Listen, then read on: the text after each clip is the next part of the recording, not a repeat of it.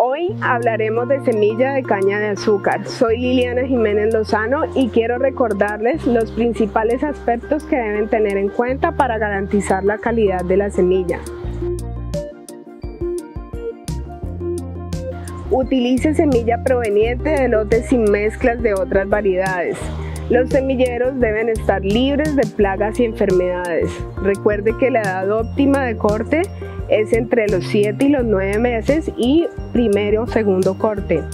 En Cenicaña contamos con el servicio de diagnóstico de enfermedades y multiplicación y propagación de variedades libres de patógenos. Tenga en cuenta que ninguna variedad debe superar el 25% del área sembrada. Variedades dominantes favorecen el desarrollo de epidemias. Recuerde, la calidad de la semilla de caña de azúcar hace la diferencia.